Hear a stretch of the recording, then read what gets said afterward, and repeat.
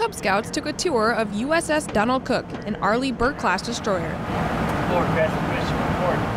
Members of the crew showed the scouts different areas of the ship, explained the importance of every sailor being a firefighter, and allowed the scouts to take the helm in the bridge. Out here in Rota, Spain, USS Donald Cook, we are a family, and we're a family here with the base.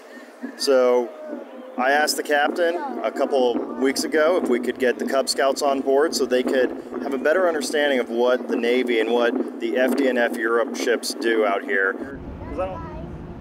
Overall, the tour was a great success with the scouts and their family members. Corporal Anna Kamudi, Naval Station, Rota.